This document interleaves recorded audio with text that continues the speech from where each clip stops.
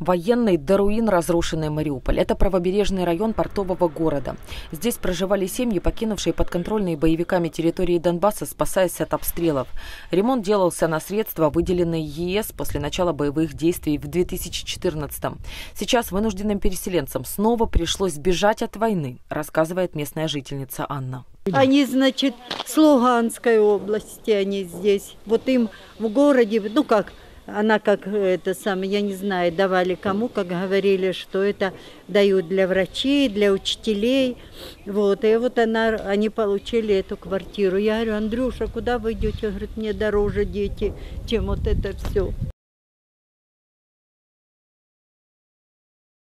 А это видео батальона «Азов». На нем кадры контратаки в осажденном Мариуполе. Городской совет Мариуполя также опубликовал видео с завода «Азовсталь». Российские ВВС продолжают наносить по нему авиаудары, несмотря на то, что там все еще скрывается около тысячи мирных жителей.